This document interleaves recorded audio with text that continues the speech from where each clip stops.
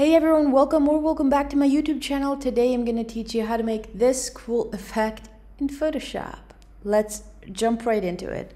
Um, it's actually really easy. First off, I want my background to be black, so I'm just going to press Command I on a Mac, Control I on a PC to invert my background from white to black. Next, we're going to go grab our ellipse tool um, I'm gonna make it white and we're gonna make a circle. I'm then going to double click on my ellipse layer and the layer style window will pop up. Now first off we want to add a gradient overlay, just a regular white to black gradient. Um, I like the angle to go from downwards to upwards and uh, I just leave the rest as is.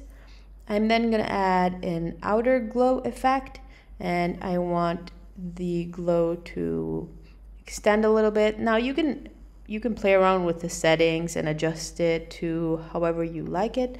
I usually go with like 80% opacity and 50% range and then play around with the size of it. Once I'm happy with it, I'm going to add an inner glow effect as well. I'm going to make it white and the opacity at 100%. Well, here as well, we're going to play around with the size of it. And I'll leave the range at 50% as well. But if you want to go with another effect, you can also play around with this.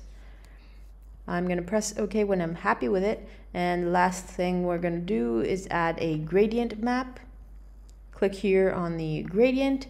And we're going to use one of my gradient map freebie packs. Uh, they're going to be linked down below. Uh, so these are all free for you guys to use. And look at how insane this looks. It's just a circle with a gradient inside, and this is the result. Like, how cool is this? This is another of my freebie packs. Come on, look at this. How pretty is it? And now you can just play with it. You can duplicate it and place another one in the center of it or uh, duplicate again and just add some little dots around. Make a huge one and place it over here. Anyways you can really go crazy with this and once you get the hang of it and understand how the effect exactly works you can start making some really cool stuff by just using shapes um, like we just did. What I like to do next to keep everything non-destructive as we like, um, I'm going to add a new layer and I'm going to fill it with 50% gray.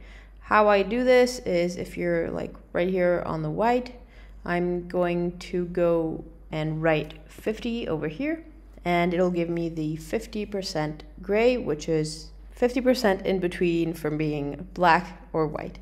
Um, I'm then gonna fill the layer with the gray and then I'll go add some noise. Maybe six is a little too much, so I'll go with five. And then I'm going to change the blending mode to whatever fits best what I'm going with. So probably overlay or soft light.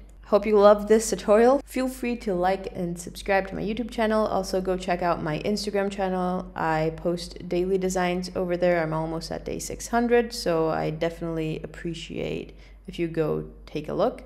And as I said before, all my links to the gradient map packs and texture packs are going to be down below in the description. Thank you so much for watching again, and I'll see you guys soon. Bye!